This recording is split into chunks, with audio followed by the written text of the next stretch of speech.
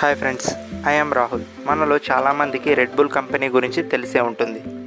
అదొక energy drink. అది అంతగా పాపులర్ కావడానికి వాళ్ళు యూజ్ చేసిన మార్కెటింగ్ స్ట్రాటజీ అండ్ కొన్ని ఫ్యాక్ట్స్ ఈ వీడియోలో మనం తెలుసుకోబోతున్నాం. Let start the video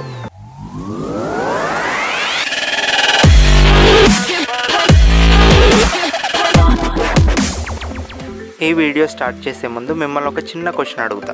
suppose మీరు ఏదైనా తెలియని ప్రదేశానికి వెళ్ళినప్పుడు మీకు ఆకలేసిన టైంలో మీ ముందు ఒక రెండు రెస్టారెంట్లు ఉన్నాయనుకోండి ఒక రెస్టారెంట్ ముందు చాలా లైన్ ఉంది క్యూ ఉంది.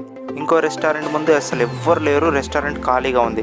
మీరు ఆటోమేటిక్గా ఎక్కడైతే లైన్ ఎక్కువ ఉందో రెస్టారెంట్లో ఆ రెస్టారెంట్కి వెళ్ళడానికి ప్రిఫర్ చేస్తారు. ఎందుకంటే అక్కడ అంతగానం లైన్ ఉందంటే ఫుడ్ టేస్టీగా ఉంటుందని ఒక ఒపీనియన్తో అది హ్యూమన్ సైకాలజీ. సేమ్ అలాంటి స్ట్రాటజీని రెడ్ బుల్ కంపెనీ వాళ్ళు కూడా ఉపయోగించారు. అదేంటంటే నార్మల్గా అన్ని కంపెనీస్ లాగానే వీళ్ళు టీవీస్లో యాడ్స్ అండ్ న్యూస్ పేపర్స్లో యాడ్స్తో పాటు వీళ్ళు కొత్తగా ఇంకొక డిఫరెంట్ ఐడియాని ఆలోచించారు.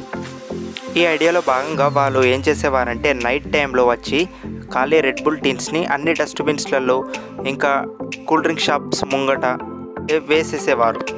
డే టైంలో వచ్చిన పబ్లిక్ కూల్ డ్రింక్ షాప్ ముంగటికి వెళ్ళి చూస్తే అన్ని రెడ్ బుల్ క్యాన్స్ టీన్స్ ఉండడం చూసి ఆ డ్రింక్ కొత్తగా వచ్చింది బాగుందేమో అని చూసి వాళ్ళు ట్రై చేసేవాళ్ళు. అలా రెడ్ బుల్ కంపెనీ యొక్క సేల్స్ పెరిగినాయి.